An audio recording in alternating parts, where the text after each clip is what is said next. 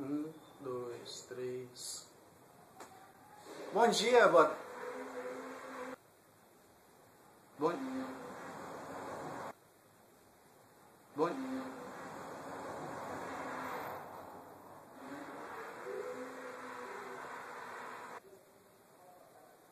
Bom dia, boa tarde ou boa noite. Eu sou o Túlio Dias, eu sou editor-chefe do Cinema de Boteco e hoje a gente vai fazer um videocast bem cara de pau sobre Oz, Mágico e Poderoso, prequel do Mágico de Oz. A direção ficou por conta do Sam Raimi, conhecido por ter comandado os três filmes do Homem-Aranha que a gente assistiu nos anos 2000, Tobey Maguire e tal. Só que antes dele fazer ficar famosão com o Homem-Aranha, ele já tinha dirigido Uma Noite Alucinante, um clássico do horror, estrelado pelo Bruce Campbell, que por sinal tá até nesse filme. O Sam Raimi, assim como o Tarantino tem essa coisa com os pés, o Sam Raimi tem com as mãos. É, na maioria dos trailers ou dos filmes do Sam Raimi, você consegue observar um momento que uma mão aparece e te ataca. Talvez por essa razão a Mila Kunis fica o filme todo com a mãozinha assim. Em Oz não é diferente, e é até de uma maneira bem engraçado, eu acho que ele mesmo reconhece essa piadinha. Na hora que aparece o nome dele nos créditos, você vê os dedinhos. Bem divertido. O Oz é estrelado pelo James Franco, já falei que tem a Mila Kunis, tem a Michelle Williams, Namorados para Sempre, a Rachel Weisz, Fonte da Vida, dos meus filmes favoritos. O Oz, ele é um mágico charlatão bem safado. Ele costuma paquerar demais, assim, e ele acaba dando em cima da pessoa errada. Aí um troglodita gigante, ficou meio chateado com ele ter dado a caixinha de música pra menininha lá. Falou, porra, cara, você pegou a minha mulher, eu vou te transformar em patê. Aí o que que acontece? O Oz, safado, ele entra num balão e foge para um outro mundo. E é legal falar que nesse momento todo, é, o filme é todo em preto e branco. Dá uma diferenciação bem legal na hora que transforma é, a, ele muda, né? O próprio personagem fala isso, ah, eu queria mudar, eu queria mudar. Do preto e branco na hora que ele abre os olhos está tudo colorido. É bem bonito isso. Mas aí a história basicamente é essa. O Oz, esse mágico da sedução, vai parar no mundo de Oz. Eles acreditam que o Oz é o cara que vai resolver. O Oz é o cara da profecia, ele é o escolhido. Porra, nem fudendo que ele é, cara. Ele é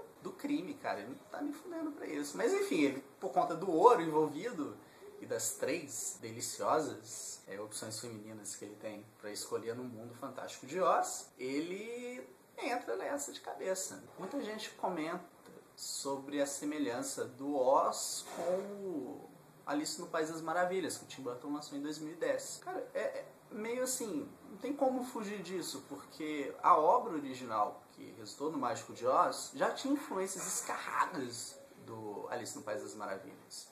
Sabe? Então, se for pra copiar alguma coisa, copiar alguma coisa legal. O visual do Alice é interessante. Filme é uma merda. Mas o visual é legal. O Johnny Depp fantasiado de Madonna é engraçado. Mas enfim, foda-se.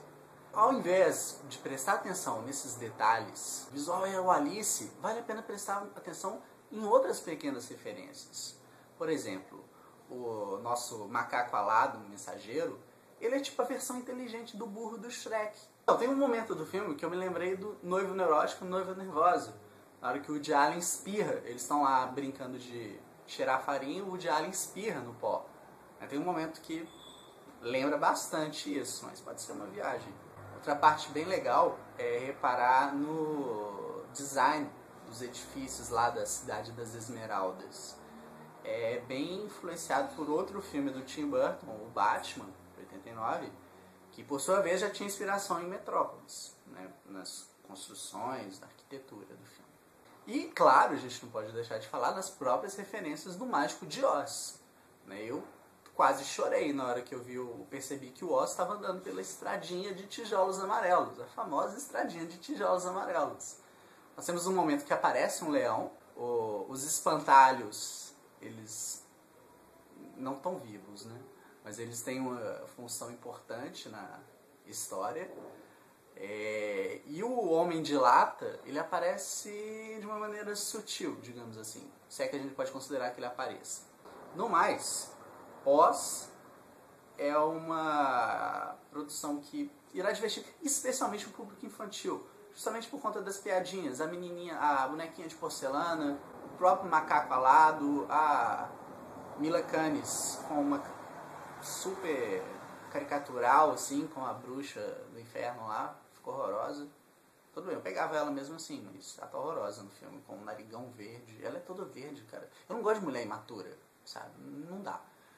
E por, por conta dessas piadinhas, assim, dessa coisa, dessa, realmente dessa pegada infantil, eu acho que o Oz Mágico Poderoso vai conseguir acertar em cheio esse público.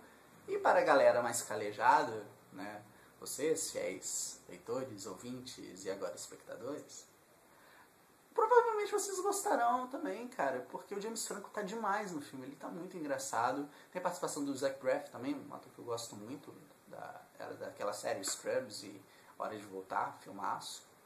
E a própria direção do Sam Raimi, que, embora meu amigo Daniel Corrêa é, não tenha gostado tanto da direção dele, gostei, cara. É divertido. É, é um filme para você assistir e se divertir. Ele cumpre bem essa coisa.